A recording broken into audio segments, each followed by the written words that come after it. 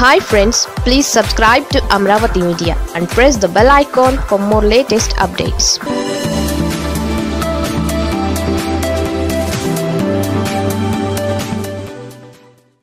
మొత్తం మంత్రులందరూ అవుట్ సంచలన నిర్ణయం దిశగా జగన్. ఏపీ ముఖ్యమంత్రి జగన్ మరో సంచలన నిర్ణయం దిశగా అడుగులు వేస్తున్నారు.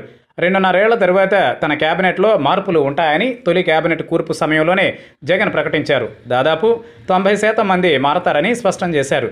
ఇప్పటికే ఇరవై ఆరు నెలల పాలన పూర్తయింది. మరికొద్ది నెలల్లో కేబినెట్ విస్తరణ ఉంటుందని పార్టీలో జోరుగా ప్రచారం సాగుతోంది. ఇప్పుడున్న కేబినెట్లో ఉండేదెవరు? కొత్తగా అవకాశం దక్కేదెవరికి? అనే లెక్కలు వేస్తున్నారు. అయితే జగన్ మాత్రం తన మార్క్ నిర్ణయాలకు సిద్ధం అవుతున్నట్లుగా తెలుస్తోంది. రెండు వేల పంతొమ్మిదిలో తాను ముఖ్యమంత్రిగా బాధ్యతలు చేపట్టిన తరువాత ఊహించని విధంగా సామాజిక సమీకరణాలు ఐదుగురు ఉప ముఖ్యమంత్రులతో కేబినెట్ రూపకల్పన చేశారు. రెండున్నరేళ్ళు కావస్తోంది. అందులో దాదాపుగా ఏడాది కాలం పైగా కరోనాతోనే సరిపోయింది. ఇదే సమయంలో నామినేటెడ్ పదవులు భర్తీ చేశారు. ఎమ్మెల్యేలకు జోడు పదవులు లేవని తేల్చి చెప్పారు. జోడు పదవుల్లో ఉన్న ఎమ్మెల్యేలను నామినేటెడ్ పదవుల నుంచి తీసివేశారు. ఇక పార్టీ ఆవిర్భావం నుంచి పనిచేస్తూ తమకు గుర్తింపు రాలేదని సీనియర్లు కొంతమందికే జగన్ ప్రాధాన్యత ఇస్తున్నారనే అభిప్రాయం చాలామంది పార్టీ సీనియర్లలో నెలకొంది. ఇక రెండు వేల ఇరవై నాలుగు ఎన్నికలకు ఇప్పటి నుంచే సమాయత్తం కావాలని జగన్ డిసైడ్ అవుతున్నారు. ప్రభుత్వంతో పాటుగా పార్టీ పదవులు కీలకం కావడంతో అందుకోసం కొత్తగా నిర్ణయం దిశగా అడుగులు వేస్తున్నారు. ఇందుకోసం తాజాగా కేంద్ర కేబినెట్ విస్తరణ సమయంలో ప్రధాని మోదీ అనుసరించిన ఫార్ములాను సీఎం జగన్ సైతం ఫాలో అయ్యే అవకాశం కనిపిస్తోంది. సీనియర్లను పార్టీ సేవల కోసం పక్కన పెట్టి కేబినెట్ విస్తరణ చేశారు. అయితే అంతకు మించి అన్నట్లుగా నిర్ణయం తీసుకోవడానికి రంగం సిద్ధమైంది. అందులో భాగంగా ప్రస్తుతం ఉన్న కేబినెట్ మొత్తాన్ని తప్పించి వారి స్థానంలో రెండు వేల ఇరవై నాలుగు టీంను ఏర్పాటు చేసుకోవాలని జగన్ భావిస్తున్నట్లుగా విశ్వసనీయ సమాచారం.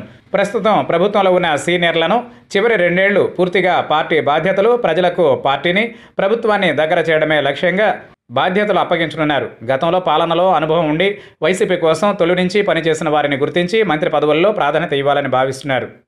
దీని ద్వారా తమకు గుర్తింపు లేదనే భావన పార్టీ కోసం సీనియర్స్గా పనిచేసిన సీనియర్లలో పోగొట్టి వారిని రెండు వేల ఇరవై నాలుగు ఎన్నికలకు సిద్ధం చేయాలనేది జగన్ ఆలోచన.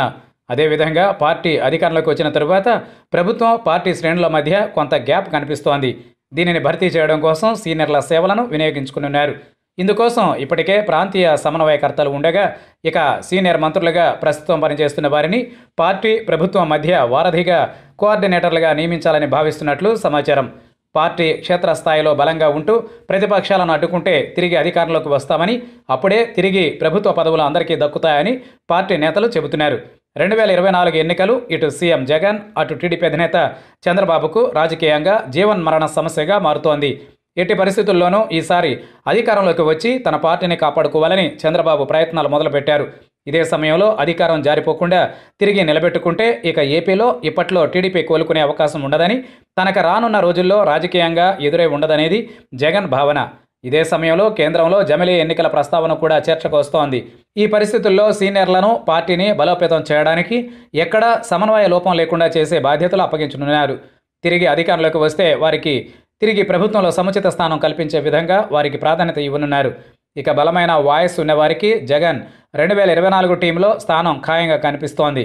అయితే కొందరు సీనియర్లను పక్కన పెట్టి కొందరిని కొనసాగించడం ఇప్పుడున్న మంత్రుల్లో పనితీరు పేరుతో తీసివేయడం వంటివి చేయడం కంటే అందరినీ ఒకేసారి పక్కన పెట్టి కొత్త వారికి అవకాశం ఇవ్వడం ద్వారా ఎక్కడా కొత్త సమస్యలు రావనేది జగన్ ఆలోచన.